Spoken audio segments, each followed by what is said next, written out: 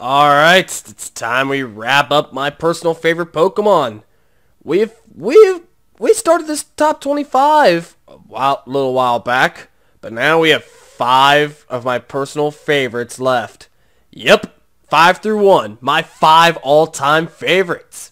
Let's get started.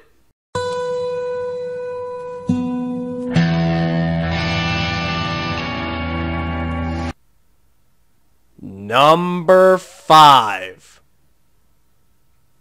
One of my all-time favorite dragon types. Or should I say my all-time favorite dragon type? Also flying type. Is Salamence. In Gen 3 when it was introduced. As a Bagon. You could only, there was only one part of one place you could get it.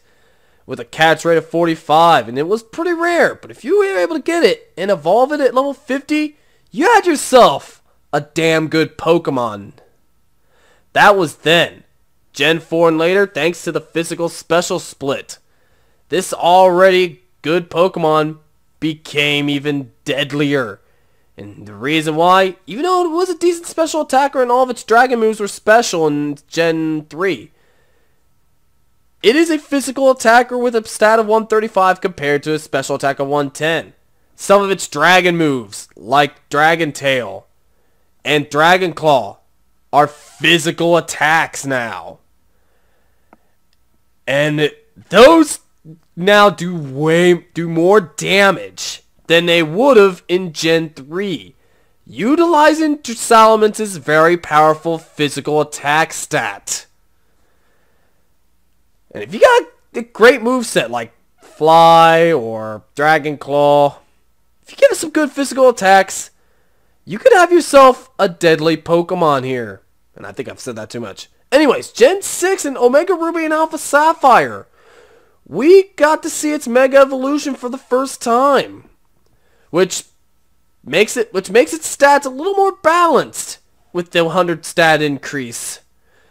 Especially its physical defense. And a little more of its special defense.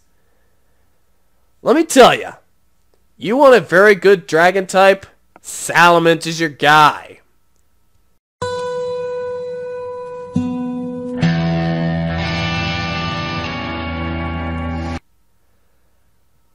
Number 4.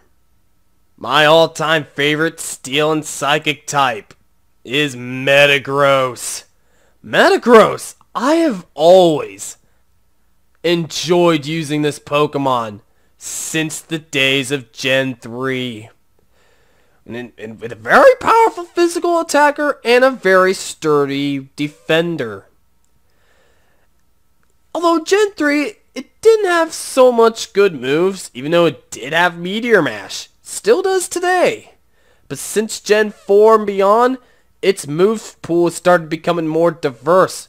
Knowing moves like Hammer Arm, Zen Headbutt, and many more through TMs. So let me tell you this. The only problem I have with it, which is not a big deal once I catch it, it has a catch rate of 3, like many legendaries. Don't know why they did that. But who knows. Hopefully they can raise it up to 45 in the future like the rest of the pseudos. But anyways, enough of that It, like Salamence, it got access to its Mega Evolution in Omega Ruby and Alpha Sapphire. And boy, when it Mega Evolves, it becomes one of the most ruthless Pokemon you could ever encounter or ever have. Hey, I used Mega Metagross in through the Hoenn's Pokemon League. And without revives, I almost beat the league. But then I fell short against the champion's own Metagross. Oh, that's because I was stupid enough not not to get to earn more money and not get any healing items. I was just stupid. But hey, that just shows to prove how good Metagross and its Mega and its own Mega Evolution is.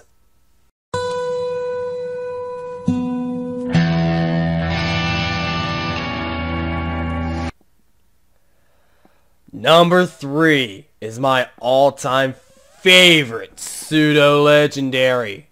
sorry about that. Anyways, my favorite rock and dark type, well, my favorite rock type to be exact, is Tyranitar.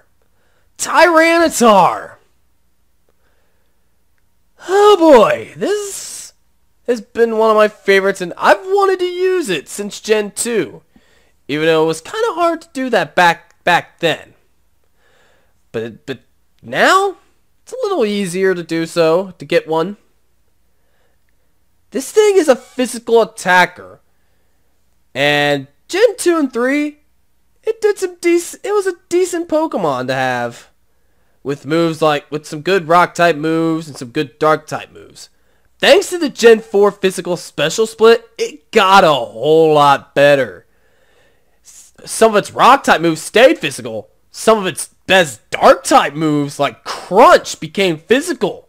And it was able to fully utilize its physical st attack stat and add upon its ability Sandstream back in Gen 3. In fact, I've used Tyranitar a lot in my Pokemon Heart Gold playthrough.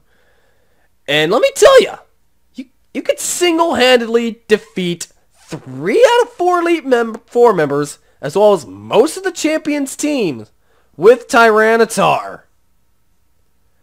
In fact, in Gen 6 with its Mega Evolution, you would definitely want to stay out of this Pokemon's way.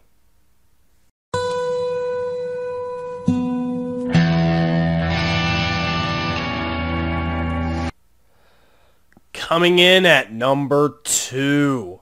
My second all-time favorite Pokemon and my all-time favorite Dark type Eeveelution, Umbreon. Looking at it, it may, it may look not so bulky, but let me tell you, it is a great all-around defensive Pokemon. Let me tell you, looking at the move sets, does no bite, and you could be able to teach it, teach it return through TM, which can do some decent damage. It may not be able to do much damage, but it is able to take good hits like a champ. Oh boy, make it even better. Look at its ability, it's Synchronize. So if Umbreon gets paralyzed, burned, or poisoned, guess what? It's gonna deflect that status problem right back at the Pokemon.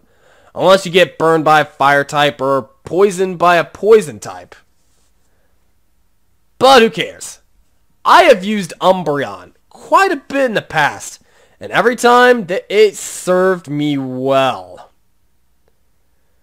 So if you're looking for a great dark type, Umbreon's your guy. To evolve it to, um, from an Eevee to this Pokemon, you need high friendship. And it has to be at night too.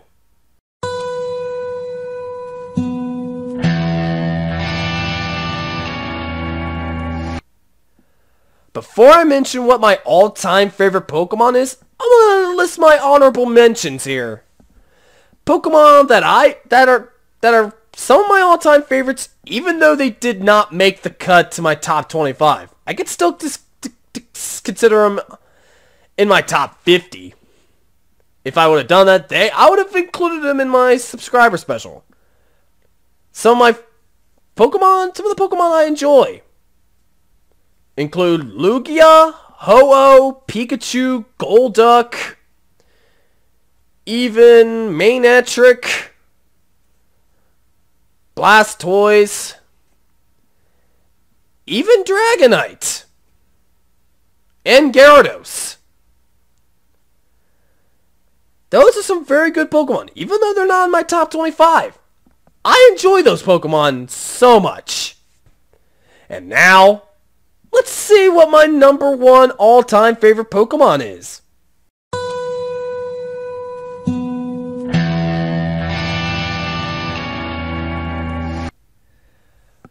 Alright. Time to tell you guys my all-time favorite Pokemon.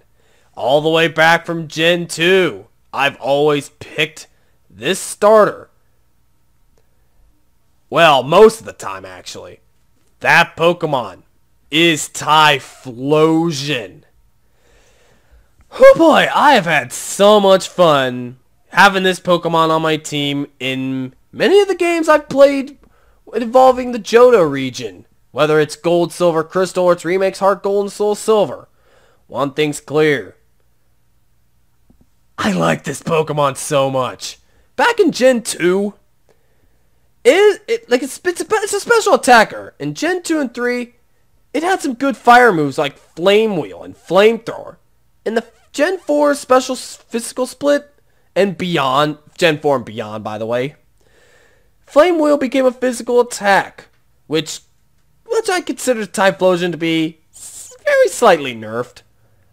But to balance it out, it was given access to more special fire attacks like Lava Plume and Eruption. If you if you don't want to have an all fire type move set, you can always teach it TMs like it knows Focus Blast, and um, and to add upon its deadly good special attack stat, it is a fast Pokemon. So if you're looking for a great fire type, this is a good one. And that Typhlosion tops my list. Okay, that is it. That is my 25 most favorite Pokemon of all time. Let me tell you, that was a fun journey going through those, getting through the editing, getting the move sets and the stats and the image of the Pokemon on there. But let me tell you, my journey through my top 25 is complete. So next time I have a, have a subscriber special, it'll be when I have 50 subscribers. Who knows how long that will be? But stick around when I when I have my 50 subscribers ready. I'll have that special ready. Who knows when it'll be? Anyways, see you guys later.